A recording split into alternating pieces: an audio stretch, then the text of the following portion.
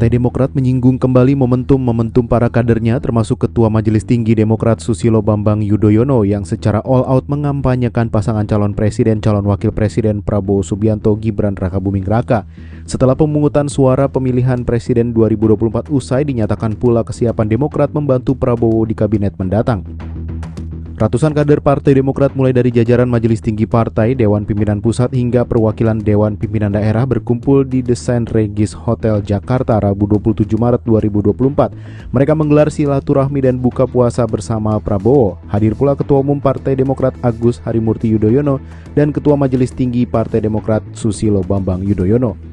Dalam kesempatan ini SBY memberikan lukisan yang dibuatnya sendiri kepada Prabowo. Lukisan itu diberi nama Standing Firm Like Rocks yang berarti kuat dan kokoh bagai batu karang di tengah samudra.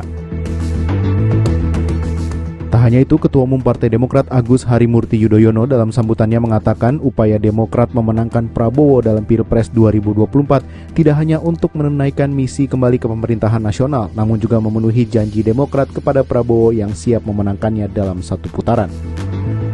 Ke depan, Demokrat bertekad untuk menyukseskan pemerintahan Prabowo Gibran dan fokus membantu Prabowo Gibran menunaikan janji-janji kampanyenya. Agus juga mengaku telah diminta Prabowo menyiapkan kader-kader terbaik Demokrat yang akan membantu di kabinet dan pemerintahan mendatang. Tak hanya Partai Demokrat, bujuk rayu berbalut pendekatan juga ditunjukkan pemimpin parpol lainnya, salah satunya Partai Golkar. Bahkan untuk pertama kali pasca penetapan hasil pemilihan presiden 2024, pasangan calon presiden dan calon wakil presiden peraih suara terbanyak Prabowo Gibran tampil bersama dalam agenda partai politik.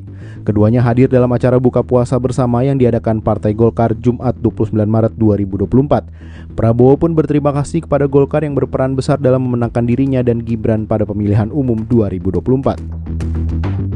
Diketahui sepekan terakhir Prabowo sudah dua kali menghadiri undangan dari parpol yakni Partai Amanat Nasional dan Partai Demokrat di Jakarta namun tidak ada satupun yang ia datangi bersama Gibran. Dalam kesempatan ini Ketua Umum Partai Golkar Erlangga Hartarto tidak memungkiri buka puasa bersama partainya menjadi agenda pertama yang dihadiri Prabowo Gibran bareng setelah penetapan hasil Pilpres 2024. Hal itu tidak terlepas dari peran Golkar sebagai parpol anggota Koalisi Indonesia Maju pertama yang mendeklarasikan dukungan terhadap pasangan tersebut.